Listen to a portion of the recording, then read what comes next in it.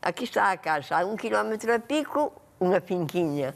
A outro quilómetro a pico, um caixa e dois, outra. O gallego não é labrador, é transportista.